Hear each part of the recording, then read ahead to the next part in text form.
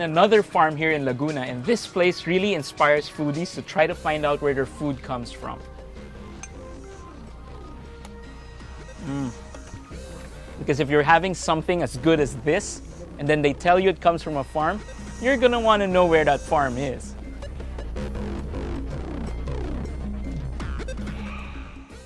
Hi, Chef. Hey, Jake. How do you find the ice cream? I am loving it. It's rich, it's really creamy as well. Mm. And when ice cream is this good, it's gotta be the milk, right? Yes. Actually, a lot of people are raving about you know the taste of the ice cream because what we're producing here at the farm is really the best milk that is used for that ice cream. The best milk. Yes. Oh, produce it then if it is the best milk. Jake, who supervises the farm's operations, tells me that their dairy cattle, flown in from New Zealand, produces the most milk out of all cattle breeds. Okay, so Jake, you've got a really nice Yes. setup here. I mean, you've got the cows, um, all just seemingly free and grazing. Yes, and yes. When you let the cows graze, when they eat the right grasses, no, they produce good quality cream. You know. It increases the fat percentage of the milk. Right. So Yes. basically, what you're saying is the the kind of cream or the kind of milk that we get from the cow actually depends on a lot on the cow, what the cow eats too. Yes, Right, that's so- why uh, we need to like balance everything that they eat. No? Okay, Sharwin, this is our milking cow. So this is where we get our milk, Right. where we process into different dairy products. So what we're doing is that we're feeding them ad libitum, meaning unlimited. Whether Ooh, like a buffet. Yes. that is awesome. whether they You want to are- eat yes whether they want to eat or not uh, food is always there for them and also there should be water at all times because as uh, as we all know milk consists of uh, 80% water Yes. after eating at around 2 o'clock we'll be uh, housing them in that uh, holding pen where they will wait for milking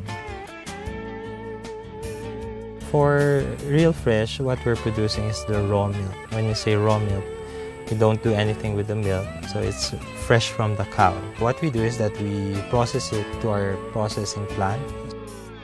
Sanitary reasons prevented me from entering the plant, but Jake was able to introduce me to the different products that they get to produce from their milk. One particular product piques my interest. Jake introduces me to the dairy technologist Olivia, who shares with me the technique to make kesong puti with the ingredients you can find at home fresh milk, salt, and rennet or vinegar.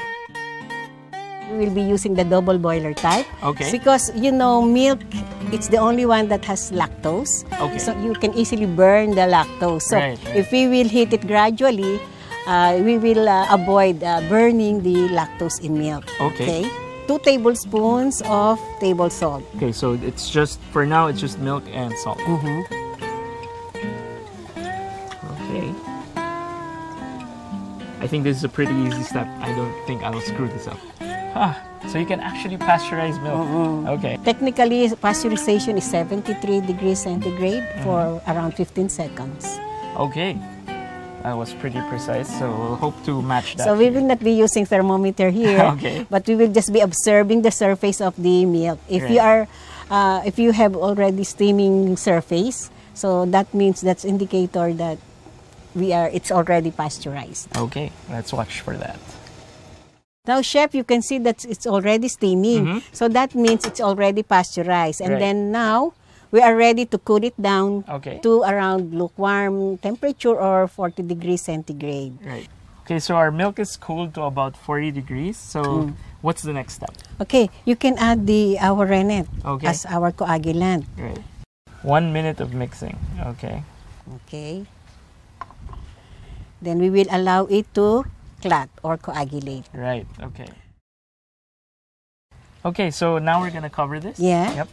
Yeah, for two, wait, we will wait for two to three minutes. All right.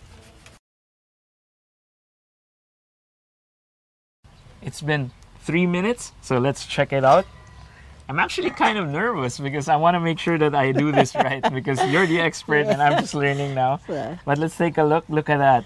It's actually pretty solid. Nice. It looks like a panna cotta actually. Okay, now, chef, I think you are ready to cut our curd. Okay. So we're going to cut it into cubes. Yeah, one inch cube. Okay. I hope I'm doing this right. And I'm looking at her face and she seems to be approving. Yeah. and it's the face of approval there. Yes. Okay. Now, chef, I think we are now ready to drain the cheese curd. Okay. So we'll put it straight here. And basically what you want to do is take away all of the whey and just leave the curds behind, right? Yes. So right now it's a lot of cheese curds, just cheese curds. And And after three hours, mhm. we have now our cheese. so after three hours, and this is what it's gonna look like, right? Yeah. Look at that.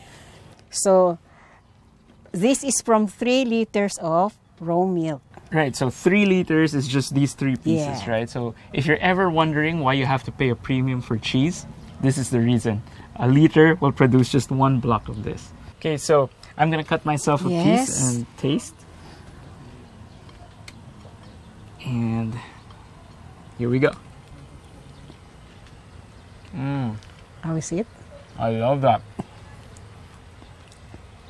Nice and chewy, and um, it's not too salty. So you're right. I love it. It's rich. It's creamy. A little, just enough saltiness to give it a lot of nice flavor. And of course, you really taste the creaminess of the milk.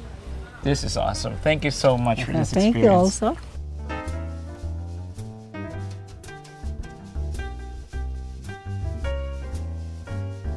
fresh kesong puti, and fresh milk straight from the farm. You gotta love it. But coming here to Real Fresh Dairy Farms, I realized that freshness is more than just picking it out of the farm. There's a lot of precision, a lot of care that goes with it. And that makes you realize that a lot of work goes into making good food. And that makes you appreciate it even more.